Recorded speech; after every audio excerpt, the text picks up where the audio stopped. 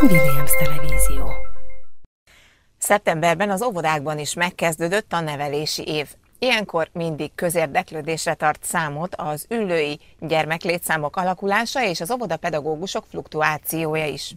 Ezekről a témákról, de a közétkeztetési reform eddigi ülői óvodai tapasztalatairól, valamint a gyermekvédelmi és a szociális törvény végrehajtási rendeletének várható részleteiről is megkérdeztük a Humán Szolgáltató Központ igazgatóját. Öt telephelyen ö, működnek óvodák ülővárosában.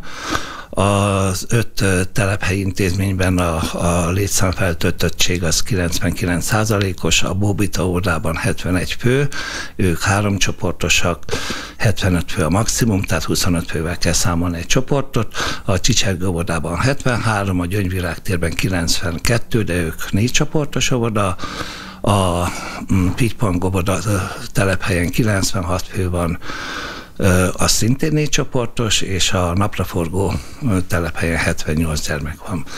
Ott hárommal több, mint a megengedett, de a jogszabályban jóváhagyott létszámmal.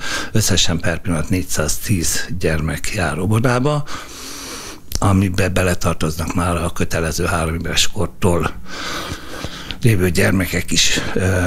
Ez annyit jelent a gyakorlatban, hogy nem kellett új csoportot nyitnunk per pillanat a három éves korú kötelező óvodáztatás miatt ülőn és 40 férőhely van még azoknak a gyermekeknek a részére fenntartva, akik szeptember és jövő május között töltik be a harmadik életéveket, hiszen ők attól a pillanattól kezdve automatikusan óvodába kerülnek.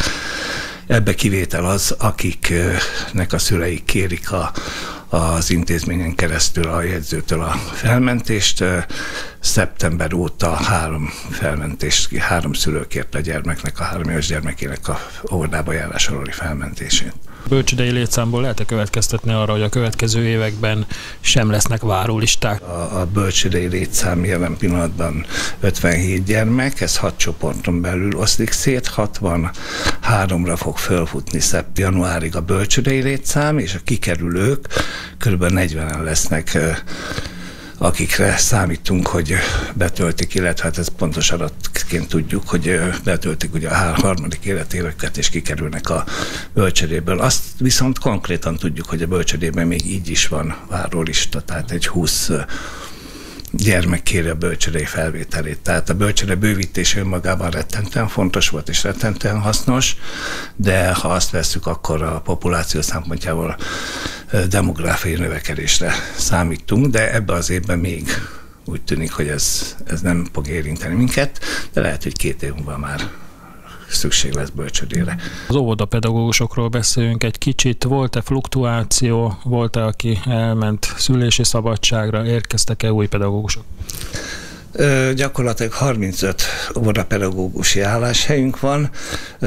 Természetesen, hogy fluktuáció nem volt, tehát úgy, hogy valaki most kimondott, tehát ez nem mérhető adat. Gyesen vannak, tehát gyeses álláshelyeket töltünk be megbízási szerződéssel, de fluktuációról nem igazán tudok beszélni, a, a, ami még rettenten fontos, hogy az óvodákban, a, a intézményegységekben gyógypedagógus, az intézmény, tehát a humán szolgáltató által fenntartott intézményi gyógypedagógus és pszichológus jár ki az óvodákban heti rendszerességgel, hőállásba, tehát az esenés gyermekek és az olyan gyermekeknek szükségük van plusz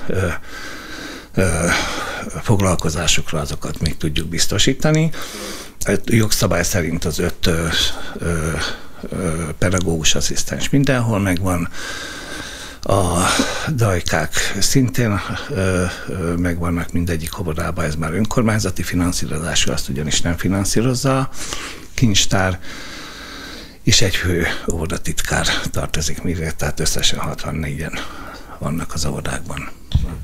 Az elmúlt időszakban megváltozott a gyermekvédelem és a szociális törvény. Most ennek a végrehajtási rendeletét várják, ha jól tudom, mire lehet számítani? Az alapkoncepció az adott, hogy a családsegítő és gyermekjóléti szolgálatot egy szolgálaton belül lássuk el, tehát ne legyen megosztva. Ez egy gyermekvédelmi jellegű szolgáltató, egység lesz, tehát a két egységből egy lesz, ez gyakorlatilag egy vezető szemét vált ki. Szakmailag ugye az a cél, hogy, hogy az átjárhatóság az meg legyen a családsít és a gyermekjóti szolgálat között.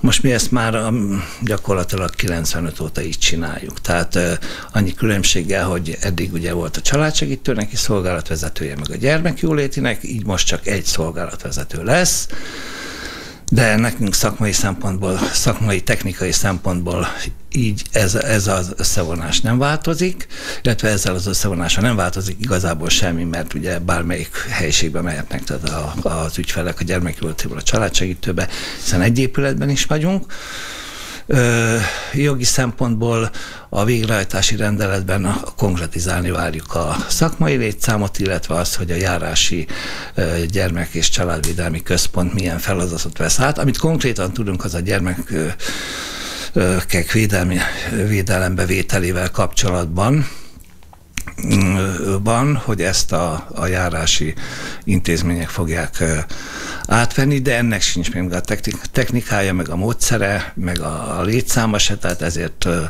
várjuk valóban a, a végrehajtási rendeletet, hogy, hogy ez gyakorlatban hogy fog kinézni. Hát január 1 kell élesben. Mondom, szakmai szempontból nálunk ez nem fog gondot okozni, kivéve azokat a feladatokat és hatásköröket, amit elvannak, illetve hát tesznek a gyermek és családsegítő szolgálatokra, amik mondom, hogy gyermekvédelmi szolgálatokként fognak funkcionálni.